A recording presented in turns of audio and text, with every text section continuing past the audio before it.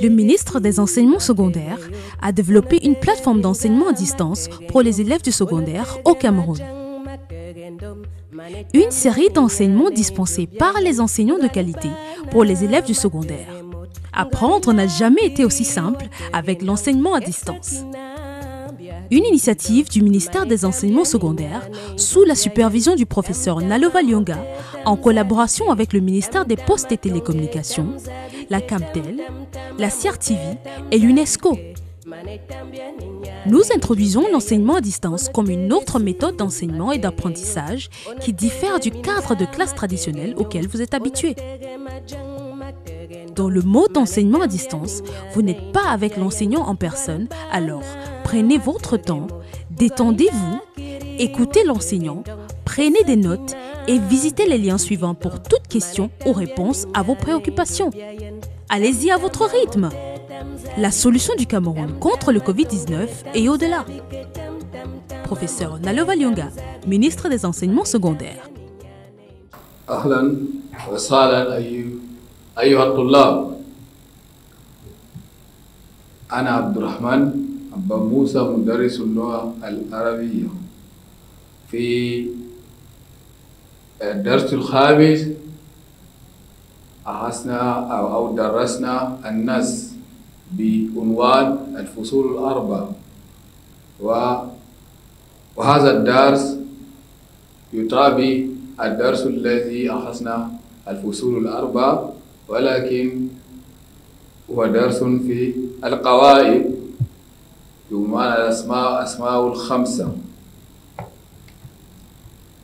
درس ال- الدروس اللغة العربية في صف الثالث ثانوي سندرس الأسماء الخمسة قلنا الدرس السادس أسأل الأسماء الخمسة. ما هي الأسماء الخمسة؟ هذا هو درسنا الخطة.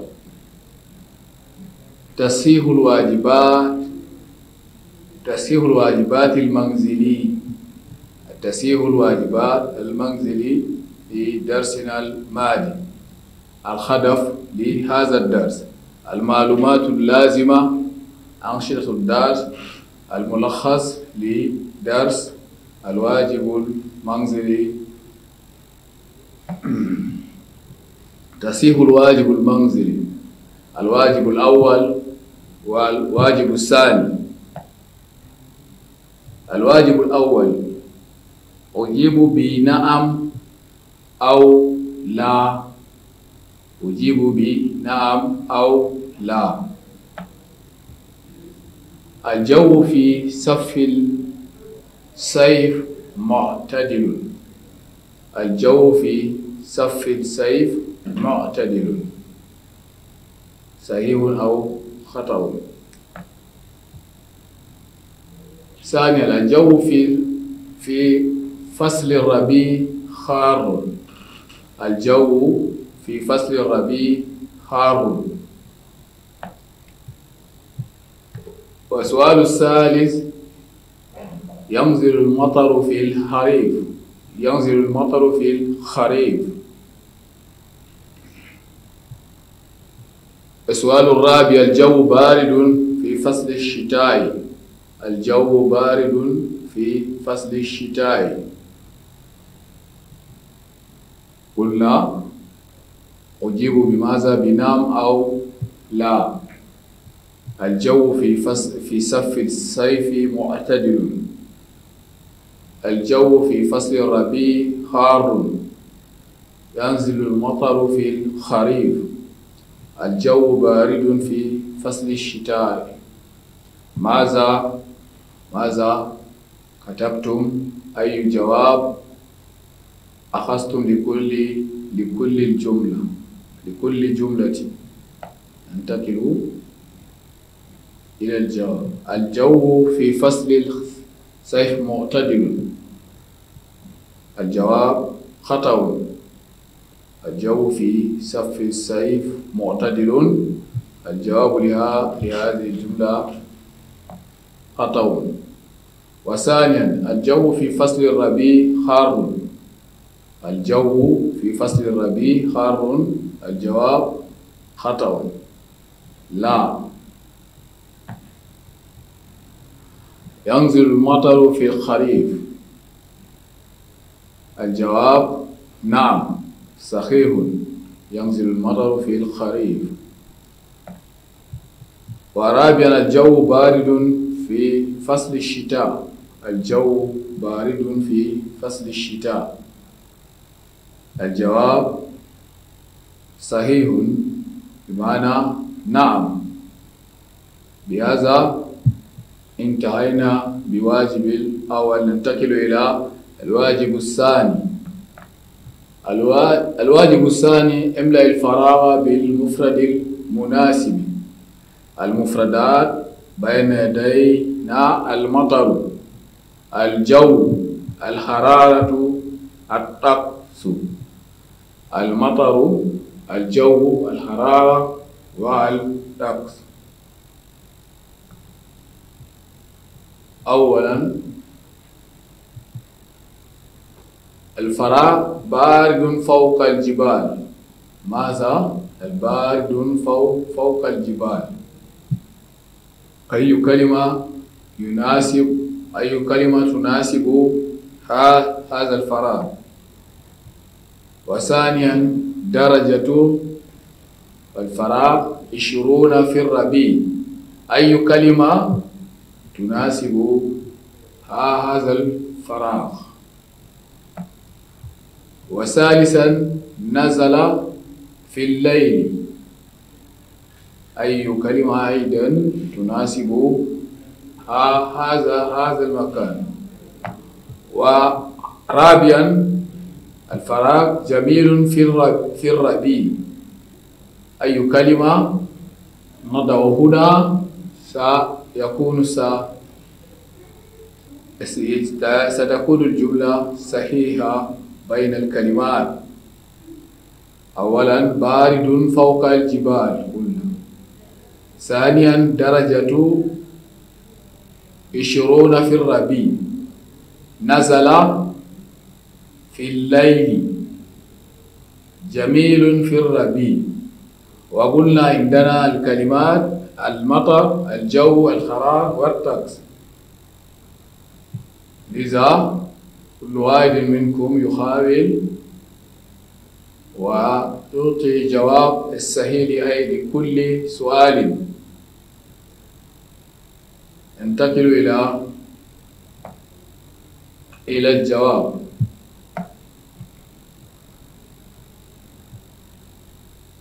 جواب للسؤال الأول.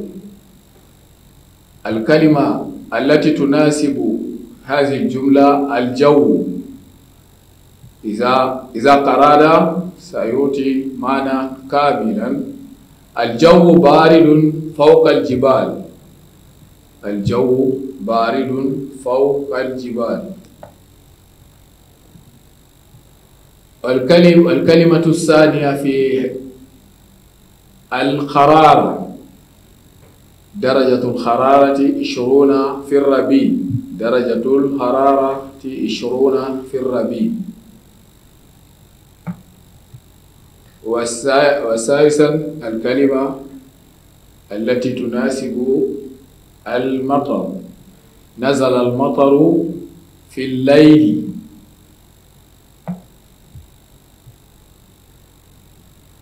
وأخيرا الكلمة الطقس جميل في الربيع. الطقس جميل في الربيع. ننتقل الآن إلى إلى الدرس الدرس درسنا اليوم. الهدف الهدف هدف الدرس أن يتعرف على الأسماء الخمسة. أن يقدر على إعراب إعراب الأسماء الخمسة. وكل واحد منكم أن يعرف ما هي أسماء الخمسة. أن يقدر على إعراب الأسماء الخمسة. المعلومات اللازمة الجملة الاسمية والفعلية. المبتدأ والخبر فعل وفاعل. إعراب الجملة الاسمية والفعلية. هذه المعلومات اللازمة. أنشطة الدار القواعد وثانيا الإعراب القواعد انظروا اقرأوا وتأملوا كل واحد ينظر ويقرأ ويتأمل القواعد القواعد اقرأ وأقرأ وتأمل انظروا انظروا قبل أن نقرأ هذه الجملة السورة أبو محمد فالله أبو محمد فالله أتأمل جيدا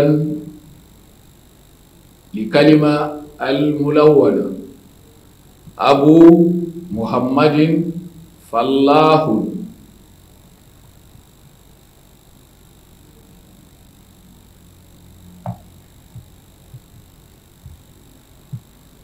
هنا انظر انظر الصورة. يبدو لي أن أخاك طبيب. يبدو لي أن أخاك طبيب. انظروا عندنا كلمة أو حرف ملون. يبدو لي أن أخاك طبيب. وانظروا الصورة قبل أن نقرأ. التقيت بأخيك في السوق. التقيت بأخيك في السوق. أتأمل سأرجو قليلا. تأملوا إن هنا أبو محمد. عندنا أبو بواحد الكلمة عندنا واو. وهنا يبدو لي أن أخاك طبيب. عندنا ألف. التقيت بأخيك في السوق. بأخيك. عندنا ياء. إذن عندنا واو ألف وياء. واصل علامة الرفع في الأسماء الخمسة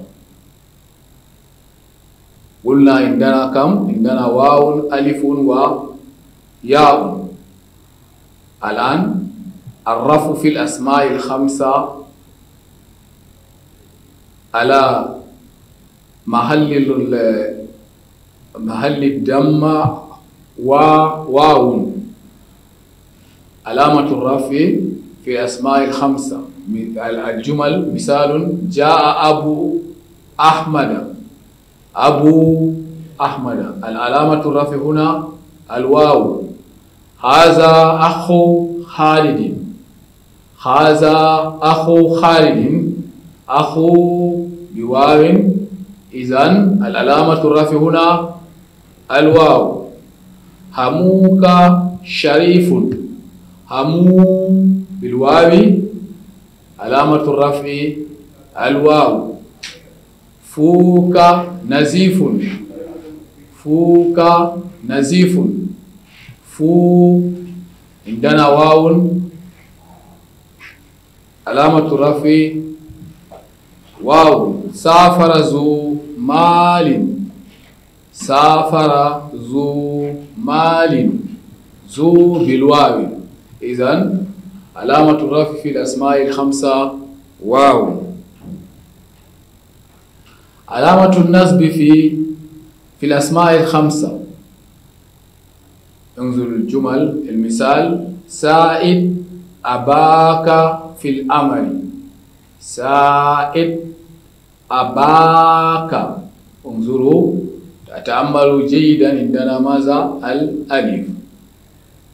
سائد أباك في الأمل.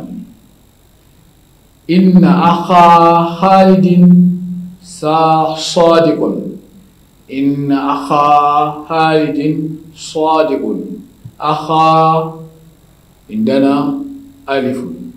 رأيت حماك. عندنا أيضا ألف في حماك. نزفاك. نزفاك فا بالألف. لا تصادق ذا طمع إذن العلامة النزل في الأسماء الخمسة ألف.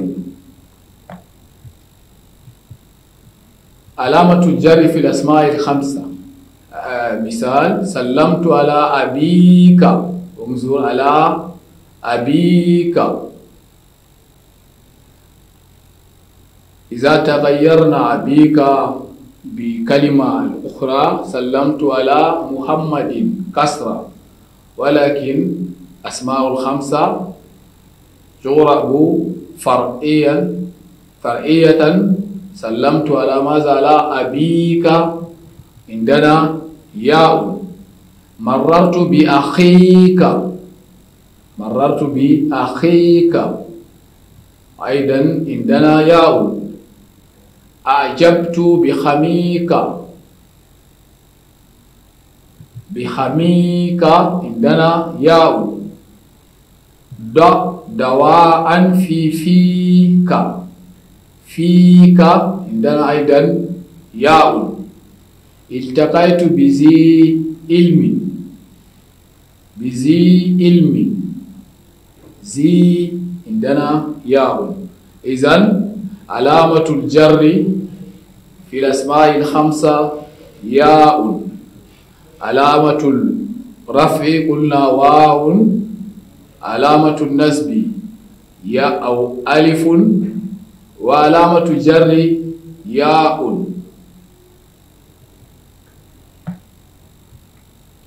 الآن التدريب. أجيب بنعم أو لا. بالجواب سنفهم ما ماذا فهمنا في هذا الدرس علامة الجر في الأسماء الخمسة واو. أصحيح أو خطأ. علامة الجر في الأسماء الخمسة واو. ثانيا علامة النسب في الأسماء الخمسة ألف. علامة النسب في الأسماء الخمسة ألف. أصحيح أو خطأ. ثالثا علامة الرفع في الأسماء الخمسة واو. علامة الرفع في الأفعال في في الأسماء الخمسة واو. رابعا. علامة الجر في الأسماء الخمسة ياء. علامة الجر في الأسماء الخمسة ياء. علامة الجر في الأسماء الخمسة واو. آه، صحيح أو خطأ. علامة النسب في الأسماء الخمسة ألف. آه، صحيح أو خطأ. علامة الرفع في الأسماء الخمسة واو. نعم أو لا. علامة الجر في الأسماء الخمسة ياء نعم أو لا.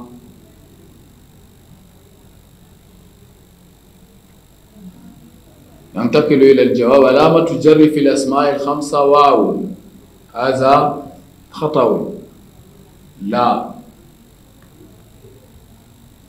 علامة النسب في الأسماء الخمسة ألف. هذا صحيح. علامة الرفع في الأسماء الخمسة واو. هذا صحيح أيضا.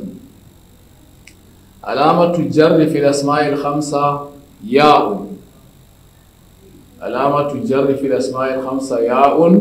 هذا أيضا صحيح مع أن في علامة الجر في الأسماء الخمسة ياء هذا أيضا صحيح.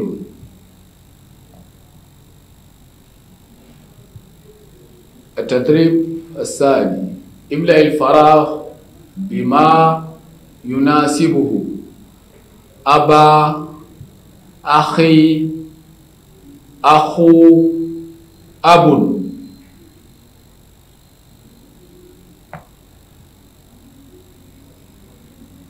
ياسر مهندس. أي كلمة تناسب هذا؟ مررت بي في الطريق. مررت بي في الطريق.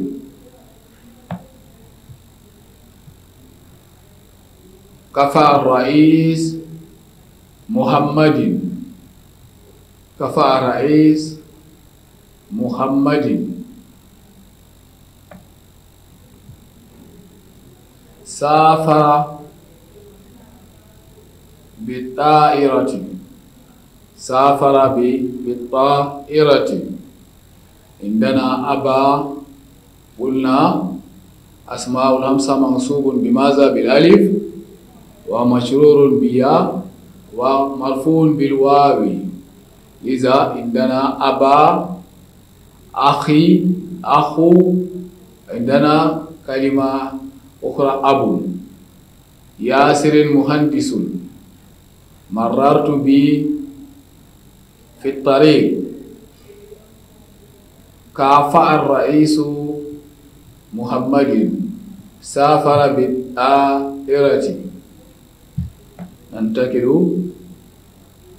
أخو ياسر مهندس لماذا أخو ياسر مهندس لأن أخو مرفوع وهو في محل في مكان رفع.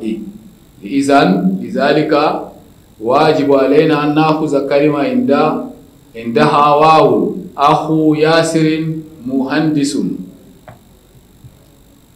مررت بأخيك في الطريق. لماذا أخصنا الكلمة أخي؟ لأن هذا الإيد مجرور ب بحرف جر باء أخي عندنا ياء في لأن أسماء الخمسة يجر قلنا بالياء. واجب علينا أن نأخذ الكلمة أخي. لذلك مررت بأخيك في الطريق. كافأ الرئيس أبا محمد. أبا محمد مفعول به منصوب. لذلك لابد أن نأخذ أبا لأن أسماء الخمسة منصوب بماذا؟ بالألف. سافر أب بالطائرة. لماذا أخذنا أب؟ لأن فاعل وأخذنا أب لأنه يناسب هذه الجملة. سافر أب بالطائرة الإيراب أبو محمد طبيب. أبو محمد طبيب. أبو مبتدأ مرفوع وعلامة رفعه الواو لأنه من الأسماء الخمسة وهو مضاف ومحمد مضاف إليه. طبيب خبر مرفوع وعلامة رفعه الدم.